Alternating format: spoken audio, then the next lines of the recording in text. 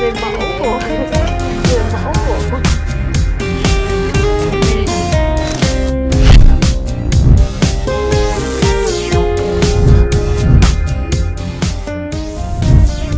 con gái này đẹp quá nè. Chứ quá bị sưng quá trời luôn. Chị ưng nghĩ không?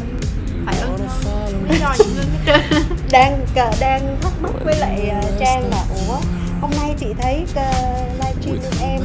6D mà hôm bữa chị không nghe 6D 6D gì sao 4D ờ Chưa thu thu tư ừ Ờ, đấy.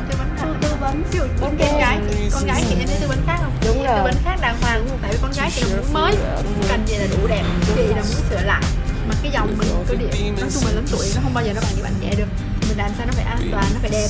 Nói chung là đến 4D là đủ đẹp rồi chị đẹp chưa? Đẹp rồi. Đủ rồi mà cái đòi xong đèn gì mất tiền nữa trời? Ý là chị thấy thắc mắc là ủa sao lại còn 6D gì nữa. Có có sao đèn chị